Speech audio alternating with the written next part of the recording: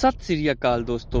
ਲਵ forever channel ਤੁਹਾਡਾ ਸਵਾਗਤ ਕਰਦਾ ਹੈ ਪਿਆਰੇ ਸੱਜਣੋ, ਅੱਜ ਆਪਾਂ ਤੁਹਾਡੇ ਲਈ ਇੱਕ ਬਹੁਤ ਹੀ ਹੈਰਾਨ ਕਰਨ ਵਾਲੀ ਖਬਰ ਲੈ ਕੇ ਆ ਰਹੇ ਹਾਂ।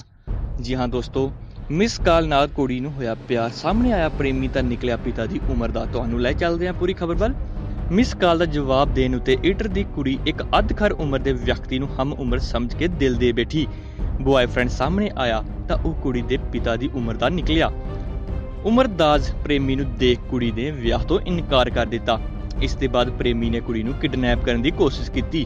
ਭਾਗਲਪੁਰ ਸਟੇਸ਼ਨ ਉੱਤੇ ਸ਼ੁੱਕਰਵਾਰ ਨੂੰ ਜੀਆਰਪੀ ਨੇ ਕੁੜੀ ਨੂੰ ਬਚਾ ਲਿਆ ਅਤੇ ਪ੍ਰੇਮੀ ਨੂੰ ਐਸਐਸਪੀ ਮਨੋਜ ਕੁਮਾਰ ਦੇ ਹਵਾਲੇ ਕਰ ਦਿੱਤਾ।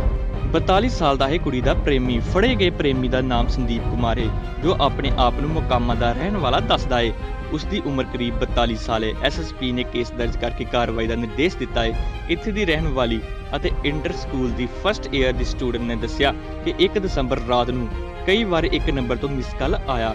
ਜਵਾਬ ਦੇਣ ਉੱਤੇ ਇੱਕ ਵਿਅਕਤੀ ਨੇ ਆਪਣੇ ਆਪ ਨੂੰ ਅਣਜਾਣ ਦੱਸ ਕੇ ਆਪਣੇ ਝਾਂਸੇ ਵਿੱਚ ਲੈ ਲਿਆ। ਫੋਨ ਉੱਤੇ ਹੀ ਹੋਇਆ ਪਿਆਰ ਪ੍ਰੇਮੀ ਨੂੰ ਬਿਨਾਂ ਦੇਖੇ ਕੁੜੀ ਨੇ ਵਿਆਹ ਨੂੰ ਹਾਂ ਕਰ ਦਿੱਤੀ। ਕੁੜੀ ਫੋਨ ਉੱਤੇ ਗੱਲਾਂ ਦੇ ਦੌਰਾਨ ਹੀ ਜਵਾਨ ਨੌਜਵਾਨ ਨੂੰ ਦਿਲ ਦੇ ਬੈਠੀ। ਦੋਵਾਂ ਵਿੱਚ 7 ਦਿਨਾਂ ਤੱਕ ਫੋਨ ਉੱਤੇ ਖੂਬ ਗੱਲ ਹੋਈ। ਇਸ ਦੌਰਾਨ ਨੌਜਵਾਨ ਨੇ ਫੋਨ ਉੱਤੇ ਹੀ ਕੁੜੀ ਨਾਲ ਵਿਆਹ ਦਾ ਪ੍ਰਸਤਾਵ ਰੱਖ ਦਿੱਤਾ। ਕੁੜੀ ਤਾਂ ਪਹਿਲਾਂ ਪਿੱਛੇ ਹਟ ਗਈ, ਕਹਿਣ ਲੱਗੀ, ਬਿਨਾਂ ਦੇਖੇ ਕਿਵੇਂ ਵਿਆਹ ਕਰਾਂਗੀ? ਇਸ ਉੱਤੇ ਪ੍ਰੇਮੀ ਨੇ ਕਿਹਾ, ਉਸ ਦੀ ਉਮਰ ਸਿਰਫ 20 ਸਾਲ ਹੈ ਅਤੇ ਦੇਖਣ ਵਿੱਚ ਵੀ ਠੀਕ ਠਾਕ ਹੈ। ਬਾਕੀ ਆਵਾਜ਼ ਤਾਂ ਫੋਨ ਉੱਤੇ ਸੁਣਾਈ ਹੀ ਦੇ ਰਹੀ ਹੈ। ਪ੍ਰੇਮੀ ਨੇ ਕੁੜੀ ਨੂੰ ਫੋਨ ਉੱਤੇ ਕਿਹਾ ਕਿ, ਜੇਕਰ ਵਿਆਹ ਤੋਂ ਇਨਕਾਰ ਕਰੇਗੀ ਤਾਂ ਮੈਂ ਜ਼ਹਿਰ ਖਾ ਕੇ ਸੁਸਾਈਡ ਕਰ ਲਵਾਂਗਾ। ਇਮੋਸ਼ਨਲੀ ਬਲੈਕਮੇਲ ਦੇ ਕਾਰਨ ਕੁੜੀ ਉਸ ਦੀਆਂ ਗੱਲਾਂ ਵਿੱਚ ਆ ਗਈ ਅਤੇ ਵਿਆਹ ਲਈ ਵੀ ਹਾਂ ਕਰ ਦਿੱਤੀ। ਵੀਰਵਾਰ ਰਾਤ ਨੂੰ ਪ੍ਰੇਮੀ ਨੇ ਕੁੜੀ ਨੂੰ ਫੋਨ ਕਰਕੇ ਕਿਹਾ ਕਿ ਉਹ ਉਸ ਨੂੰ ਮਿਲਣ ਆ ਰਿਹਾ ਹੈ। ਟਿਊਸ਼ਨ ਦੇ ਬਹਾਨੇ ਪ੍ਰੇਮੀ ਨੂੰ ਮਿਲਣ ਸਟੇਸ਼ਨ ਪਹੁੰਚੀ ਕੁੜੀ। ਸ਼ੁੱਕਰਵਾਰ ਸਵੇਰੇ ਕੁੜੀ ਘਰ ਤੋਂ ਫੈਮਿਲੀ ਨੂੰ ਕਹਿ ਕੇ ਨਿਕਲੀ ਕਿ ਉਹ ਟਿਊਸ਼ਨ ਪੜ੍ਹਨ ਜਾ ਰਹੀ ਹੈ। ਇਸ ਦੇ ਬਾਅਦ ਪ੍ਰੇਮੀ ਨੂੰ ਮਿਲਣ ਸਟੇਸ਼ਨ ਆ ਗਈ। ਪਿਤਾ ਦੇ ਉਮਰ ਦੇ ਪ੍ਰੇਮੀ ਨੂੰ ਦੇਖ ਕੁੜੀ ਨੇ ਵਿਆਹ ਤੋਂ ਇਨਕਾਰ ਕਰ ਦਿੱਤਾ। ਇਸ ਉੱਤੇ ਪ੍ਰੇਮੀ ਉਸ ਨੂੰ ਜਬਰਨ ਟ੍ਰੇਨ ਵਿੱਚ ਬਿਠਾ ਲਿਆ ਅਤੇ ਮੁਕਾਮਾ ਲੈ ਜਾਣ ਲੱਗਾ। ਕੁੜੀ ਨੂੰ ਜਾਨੋਂ ਮਾਰਨ ਦੀ ਧਮਕੀ ਦਿੱਤੀ। ਇਸ ਦੌਰਾਨ ਕੁੜੀ ਨੇ ਟਾਇਲਟ ਜਾਣ ਦੇ ਬਹਾਨੇ ਆਪਣੀ ਭੈਣ ਨੂੰ ਫੋਨ ਕਰ ਦਿੱਤਾ। ਵਾਪਸ ਪਰਤੀ ਤਾਂ ਪ੍ਰੇਮੀ ਨੂੰ ਸ਼ੱਕ ਹੋ ਗਿਆ ਅਤੇ ਮੋਬਾਈਲ ਖੋ ਕੇ ਵੀ ਤੋੜ ਦਿੱਤਾ। ਪਾਗਲਪੁਰ ਸਟੇਸ਼ਨ ਗੱਡੀ ਪਹੁੰਚੀ ਤਾਂ ਪੁਲਿਸ ਨੂੰ ਵੇਖ ਕੇ ਕੁੜੀ ਚੀਕਣ ਲੱਗੀ। ਇਸ ਦੇ ਬਾਅਦ ਪ੍ਰੇਮੀ ਨੂੰ ਰੇਲ ਵਿੱਚ ਹੀ ਪੁਲਿਸ ਨੇ ਫੜ ਲਿਆ।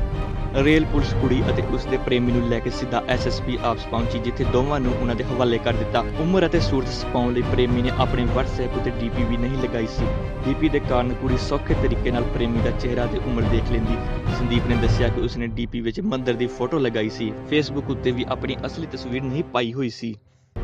ਦੋਸਤੋ, ਹੁਣ ਦੀ ਨਿਊਜ਼ ਐਨੀ ਹੀ। ਸਾਨੂੰ ਦਿਓ ਇਜਾਜ਼ਤ, ਧੰਨਵਾਦ ਜੀ।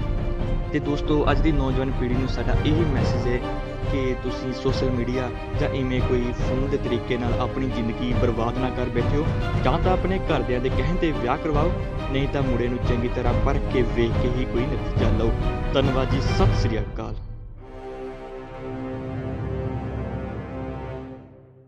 ਹਾਂਜੀ ਸੱਜਣੋ, ਜੇ ਤੁਸੀਂ ਸਾਡਾ ਇਹ ਚੈਨਲ ਸਬਸਕ੍ਰਾਈਬ ਨਹੀਂ ਕੀਤਾ, ਤਾਂ ਸਬਸਕ੍ਰਾਈਬ ਬਟਨ ਤੇ ਕਲਿੱਕ ਕਰੋ।